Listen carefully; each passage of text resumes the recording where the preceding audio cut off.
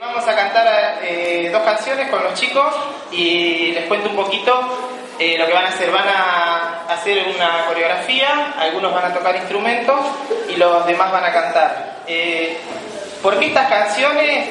Porque en realidad en música lo que tratamos de hacer es trabajar ¿sí? con los chicos, no para que aprendan a tocar un instrumento o sean músicos el día de mañana, sino que se puedan expresar a través de la música, ¿sí? No importa quién baila lindo, quién baila feo, quién canta lindo, quién canta feo, sino que ellos a través del arte puedan sacar afuera cosas que por ahí a veces no salen con palabras, ¿sí? Eh, o de otra manera. Entonces lo que vamos a tratar de hacer es mostrar un poquito, sí, resumidamente lo que se trabaja en el año en música, ¿sí? Donde ellos a través del cuerpo, a través de alguna poesía que escriben, que le ponemos música, o a través de canciones simplemente eh, cantando se pueden expresar, ¿sí? Yo creo que el arte eh, es fundamental en las escuelas, ¿sí? Hasta a veces nos queda como poco tiempo para realizar cosas con los chicos y hasta con el tiempo, cuando tenemos la suerte de tenerlos eh, durante dos o tres años seguidos, nos los vamos conociendo y nos damos cuenta que hasta, hasta surgen algunos talentos, pequeños talentos chiquititos, donde ellos después,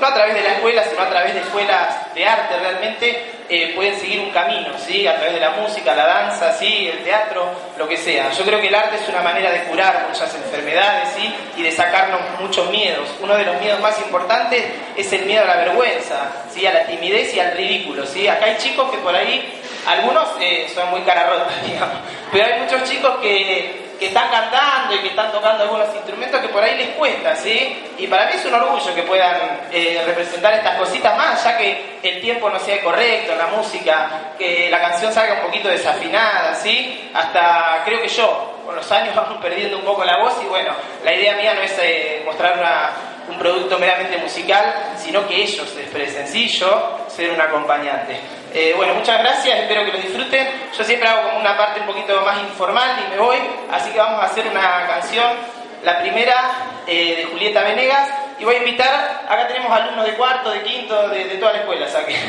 Y voy a invitar a eh, algo muy curioso que pasó en cuarto año, sí, lo estuvimos trabajando, y por ahí no quiero extenderme con las palabras, pero voy a invitar a, unos chicos de cuarto grado, alumnos míos, a Gabriel, que está por ahí. Gabriel, vení.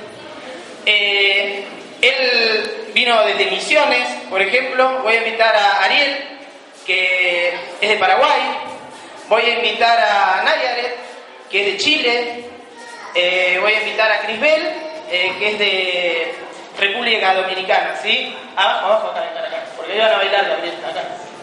Eh, eso me parece muy importante porque los diseños curriculares nuestros últimamente, y no, no solamente los de artística, apuntan a la diversidad. Y me pareció algo muy loco, como digo yo por ahí, que tengamos gente de, tantos países o de lugares de misiones, por ejemplo, y que todo el año eh, hayamos podido compartir costumbres y cositas que ellos contaban, ¿sí? De, y tradiciones que tienen de, sus lugares, ¿sí? Bueno, así que no los entretengo más, vamos a hacer una canción de Julieta Venegas que se llama Sal, ¿sí? Eh, justamente también, eh, Julieta Venegas es mexicana, ¿sí? De padres mexicanos y nacida en Estados Unidos, así que es como que hay un poquito de aire de todos lados. Y vamos a hacer un aire, voy a intentar hacerlo de, blues, que se llama Sal, ¿sí? Gracias.